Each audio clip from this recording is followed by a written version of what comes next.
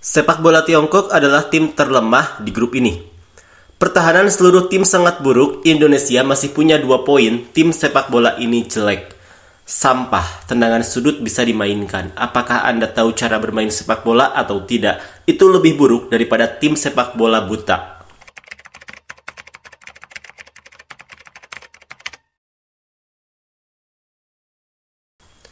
Penampilan timnas Cina di babak kualifikasi Piala Dunia Round 3 benar-benar di bawah ekspektasi. Sebab mereka belum mendapatkan poin dan sudah menelan dua kekalahan. Selain itu, pada laga selanjutnya mereka akan berhadapan dengan timnas Indonesia dan diprediksi Cina akan kembali alami kesulitan untuk mendapatkan kemenangan. Setelah berkaca pada dua pertandingan sebelumnya, Cina benar-benar tak berkutik di hadapan Jepang dan Arab Saudi. Sementara itu, timnas Indonesia mampu menahan imbang Arab Saudi dan Australia. Bahkan mereka mampu tampil merepotkan Arab Saudi.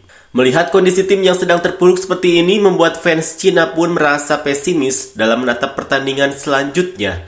Seperti inilah komentar fans Cina. Sepak bola Tiongkok adalah tim terlemah di grup ini. Saya sudah lama mengatakan bahwa orang tua ini tidak baik.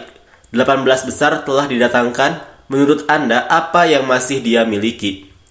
Bagi seorang pesepak bola berdarah panas, ketika kekalahan menjadi kebiasaan dan dimarahi menjadi sebuah keterampilan wajib, apakah benar dia tidak memiliki semangat berdarah untuk bertahan dalam situasi putus asa? Mengapa Anda tidak menggantikan seseorang sebelumnya? Apakah kamu tidak tahan lagi? Yang ini sangat dekat, teruskan, aku akan selalu mendukungmu. Orang-orang Tiongkok mengirim ke seluruh dunia ke mana pun mereka pergi. Saya beruntung, saya tidak akan menjadi orang Tiongkok selamanya. Ketika kami kalah pada waktu itu, kami tidak dipecat. Apakah ada yang bisa kami lakukan jika para pemain tidak cukup bagus? Apakah saya hanya memarahi Ivan? Lihat komentar di bawah, dan dia memiliki masalah terbesar. Jadi saya memarahinya.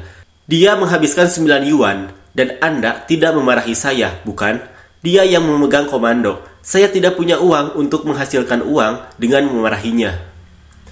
Tim Cina sangat buruk sehingga bahkan di Cina kita tidak dapat menonton pertandingan karena pemerintah mematikan sinyalnya. Kenapa kamu tidak menggantikannya lebih awal? Memalukan. Kenapa kamu tidak diganti lebih awal?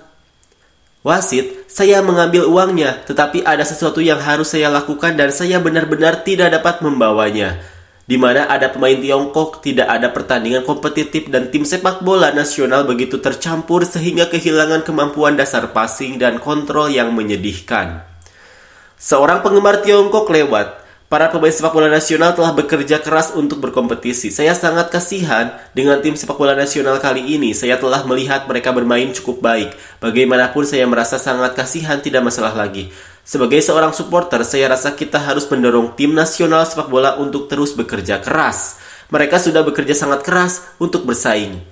Skor 7-0 ini bukan berarti mereka tidak bekerja keras, melainkan hanya menunjukkan bahwa mereka kurang mampu, yang hanya akan membuat mereka semakin tertekan. Kita tidak boleh menganggapnya sebagai lelucon. Sepak bola selalu menjadi kelemahan kami. Kami bersikeras karena kami ingin meraih kejayaan bagi negara kami. Kami berharap bisa meraih hasil yang baik. Semua orang sangat bangga dan berhenti memarahi kami. Mengapa repot-repot memarahi rakyat? Kami sendiri dengan bodohnya. Yang buruk adalah tidak memiliki keberanian untuk melanjutkan. Daripada berjuang, kita harus terus mendukung tim nasional sepak bola. Ini memalukan.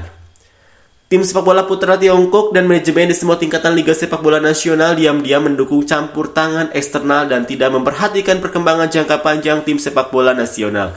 Kegagalan memberikan hukuman berat dan perubahan hanya akan memalukan selamanya untuk industri sepak bola Tiongkok. Pertahanan seluruh tim sangat buruk. Indonesia masih punya dua poin. Tim sepak bola ini jelek. Sampah, tendangan sudut bisa dimainkan. Apakah Anda tahu cara bermain sepak bola atau tidak? Itu lebih buruk daripada tim sepak bola buta. Pemain Tiongkok perlu melatih pertahanan tendangan bebas dan tendangan sudut mereka.